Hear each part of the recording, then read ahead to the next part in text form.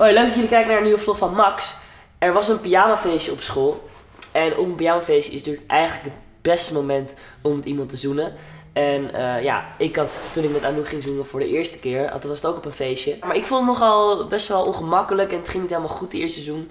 Misschien heb je dat ook al meegemaakt of moet je het nog meemaken. Ja, ik dacht misschien is het wel even goed om jullie eh, even een voorbereiding, een, een voorbereiding tip te geven.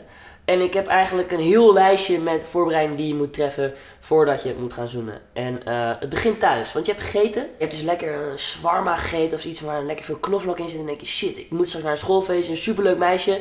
En hoe ga ik dat doen met een vieze adem? Nou, huppa. Je gaat je tanden poetsen, misschien zit er nog wat tussen je tanden, weet je. Je poetst gewoon je tanden voordat je weggaat. Oké, dan, je bent op het feest aangekomen. Allemaal mooie meisjes en je ziet, er, je ziet de meisjes staan en denkt, shit, ik vind het zo leuk.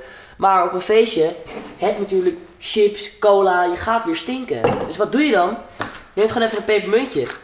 Die moet je gewoon altijd bij hebben als je naar een feestje gaat. Moet je gewoon altijd standaard in je broekzak. Dus je checkt je portemonnee, je telefoon, je sleutel en je pepermuntje.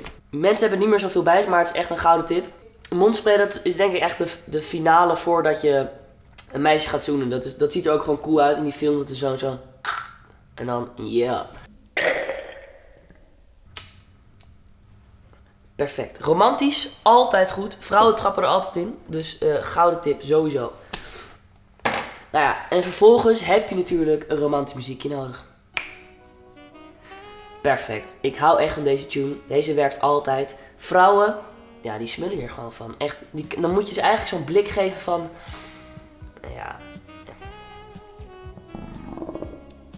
En uh, ja, als, ze dan, als je dan die blik krijgt van het meisje en ze kijkt je zo verliefd aan. Ze ziet er goed uit. Ze heeft, ze heeft er helemaal de beste aan om zich mooi te maken. En ze kijkt verliefd naar je. En het muziekje komt tot het refrein. En misschien nog wel beter. Dan, dan, dan moet je er gewoon voor gaan. Je moet niet twijfelen. Want dan, dat ziet ze meteen in je ogen. Je moet niet twijfelen. Je moet er gewoon meteen vol voor gaan.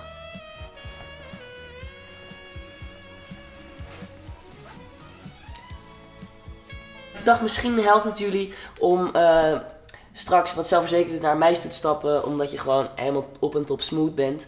Dus uh, ik hoop dat ik jullie heb geholpen. Maar ik heb ook nog wel wat tips nodig. En volgens mij ben ik echt nog wel wat dingen vergeten.